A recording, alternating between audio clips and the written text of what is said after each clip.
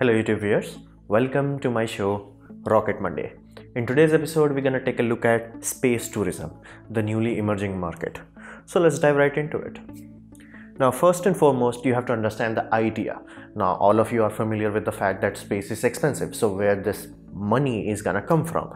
To give you a context of this, tourism is a very big business now, to uh, estimate in 2016, global tourism business have created upwards of 7.6 trillion dollars.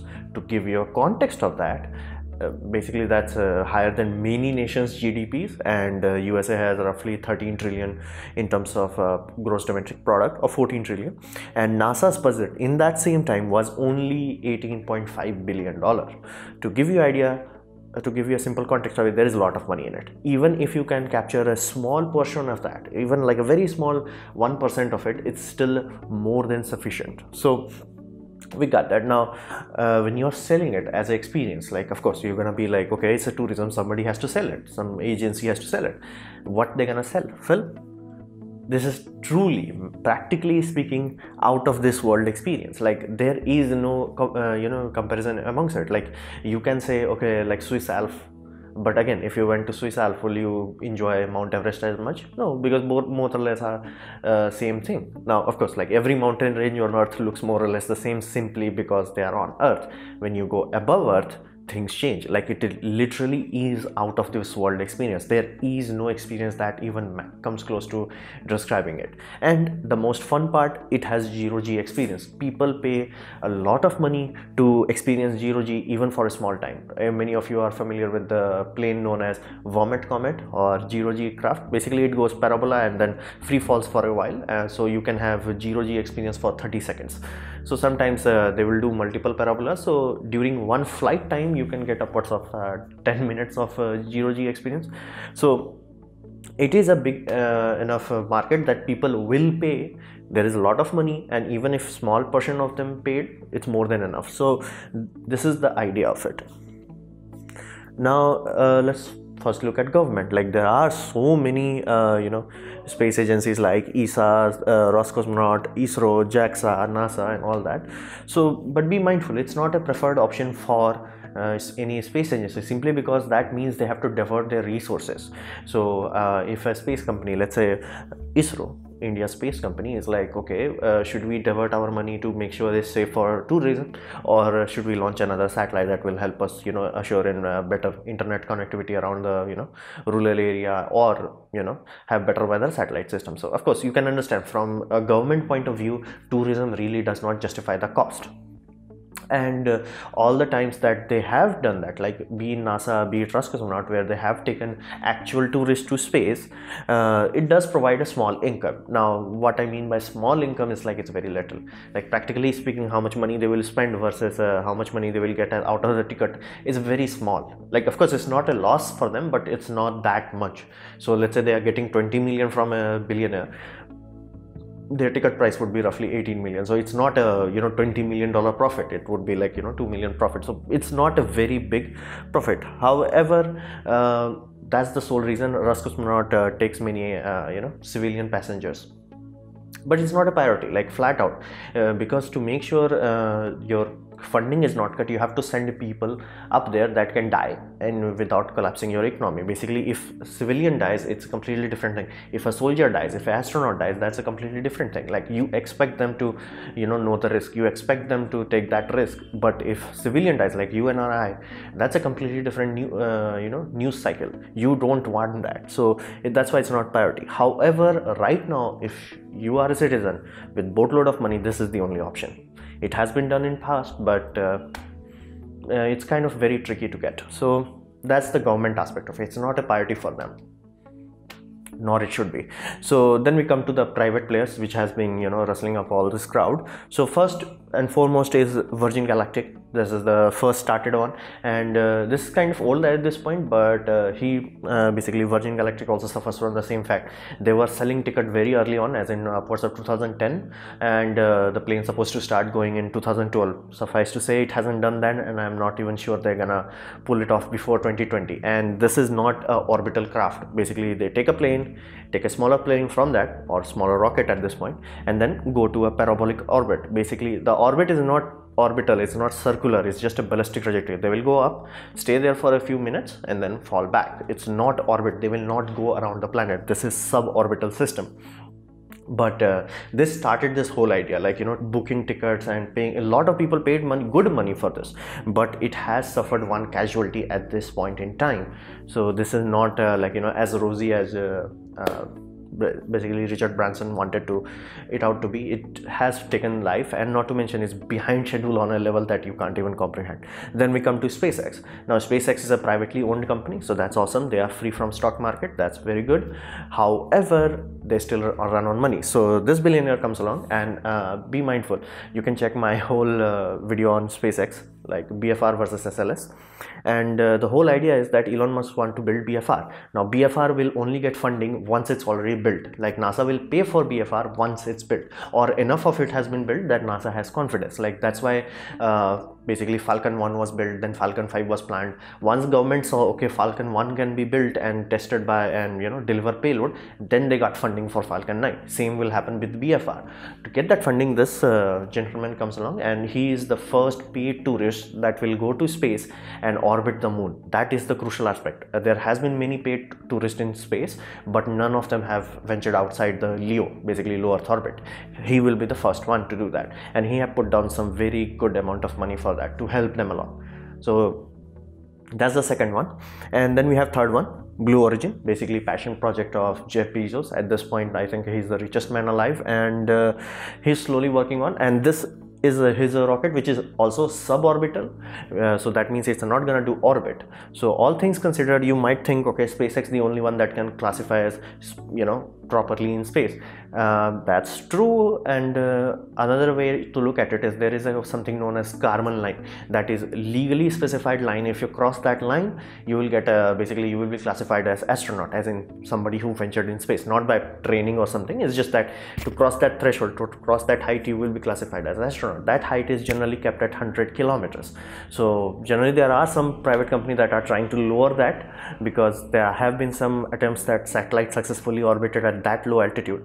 So they are saying you know lower it a bit and that way anybody who's selling this suborbital they can classify as that you know you are going to into basically space so there is a bit of politics here. So be mindful. They have been going on for quite a while. Spacex is uh, you know it's uh, in their vested interest that uh, this bfr gets built. So for that reason you can put your money on that. Uh, virgin galactic i'm not sure. They have been delayed behind schedule for a very long time. And uh, he had also the same issue of elon musk like you know overselling like in 2012 we're gonna have it and blue origin that's uh, very calmly quietly working in the background. They, they don't make a giant announcement and things of that nature. They are just working at it and they are gaining contract and traction in ula and nasa. So they can slowly uh, you know come up in our future. So these are the big private players.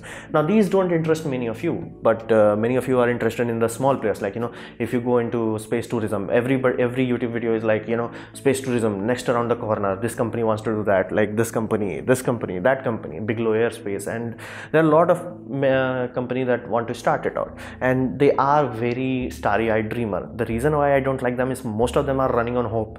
Like if you ask them like okay how you gonna send it? They're gonna like okay i'm gonna use uh, you know uh, falcon 9 okay awesome cool. Uh, where you gonna build your uh, you know habitat? Like basically this unit.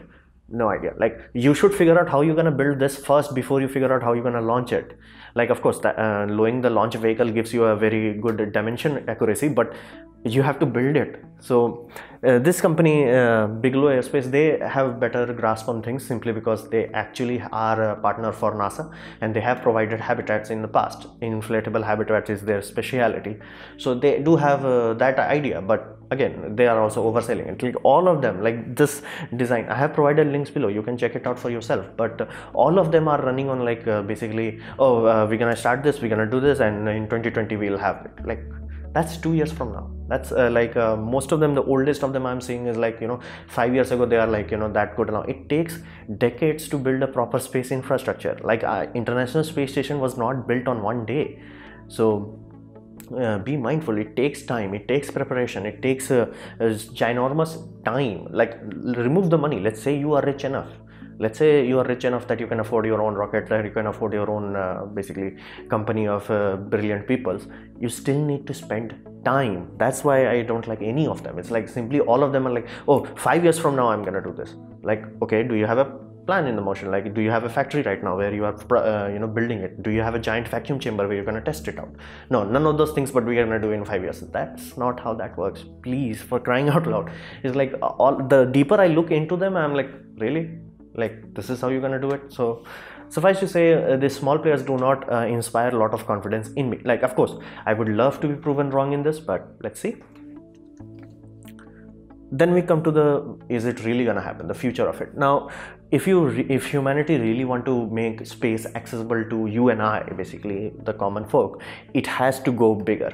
Now the biggest idea out there is a gateway foundation that is this architecture. The idea is this is a spinning habitat and uh, in the center you will have basically zero gravity. So basically that if you want to experience space you will be in this area and if you want to experience moon gravity this core will have moon gravity. So if you want to go to moon you can train here. And now if you want to go to mars this outer ring will will have gravity equivalent of Mars. So this way NASA can lease out let's say this area and uh, let's say whoever is trying to do moon mining they can uh, train their astronaut or whoever is doing that train their worker here and whoever wants to go for you know just normal fun zero g experience they can do this. So this approach has one core advantage. It's like if they start building it like a small section everybody will start pouring in money because it's in their best interest so bigger is better. And this way they can build a very ginormous station. The target uh, audience for this is like upwards of 10 to 20000 people in orbit all the time 24 into 7 so that's a completely different uh, ball game and not to mention because it has centrifuge capacity as in like it is rotating it has gravity people should be able to survive there for longer and uh, because they have Mars gravity and Moon gravity and zero gravity there are uh, multiple things that can be done for it. Like say uh, you want to shoot a sci-fi movie. The hardest thing to do is uh, shoot a zero G scene. You see uh, shoot it here. Like scientists will be busy in their moon orbit. You, you can you know have a theme park rides in the Mars orbit. So the bigger you make it the more things can be done in one place and the easier it becomes to fund for that reason i am very uh, hopeful with this idea. However this is still a concept so please relax. It's not like uh, you're gonna say start, uh, starting tomorrow. So this is the craft that they are aiming for. That craft is the size of space shuttle. So understand that this is humongous and this should give you a scale idea how big that is. Like this is international space station that is uh, gateway foundation. So this is a good idea because this actually helps the funding along. It's like uh, every small country can chip in a little bit and a little bit and over time it, this could become big enough. And all those small small startups that have no uh, like no proper launch capacity they can also just chip in their money and like okay we're gonna own a small sector or let's say we, you take our money and you give us like let's say one corridor cool. Awesome. So this way things can be done. Like but if somebody says like uh, multiple companies are making their multiple small resorts all of them gonna starve to death simply because if uh, that many people are providing uh, basically services they have to keep their cost down. If they keep their cost down how the heck they gonna recover their uh, you know original investment? But if you make them big lot of people can you know go the throughput will be higher meaning you uh, the ticket prices will be lower which means more people will go which means more money which means more profit. So this idea of like uh, you know small small companies I, I really don't think that's feasible. Can SpaceX do it? Again no. Like SpaceX will only take people uh, like they they want to make BFR as a rocket simply because it's reusable and they're gonna be like okay first launch is NASA second launch is a you know private mission. Whoever pays for it but they themselves is not gonna do it. So all the other companies they have to come together. So we have to go the conglomerate route basically where multiple small companies come together and do something awesome as this. Outside of this let's say uh, if companies don't come along and like uh, many small countries chip in this sort of dream will be well just dream. So at the future i'm talking 2030s to 2050s we will have space tourism because we already had it in past. It's just that uh, to have the tourism at a level where people like oh i'm going to europe and somebody will like yeah, nah i am saving money so i can go to space that's going to take a while So this was my presentation on space tourism. I hope you liked it or learned from it. In that case, please leave a like. If you didn't, don't worry about it. You can dislike it. I would urge you to leave a comment on the episode and what you want to see in the next episode. Please subscribe, share it amongst your friends, hashtag S2T. And I would ask you to press the bell icon if you're free. And as always, thanks for watching.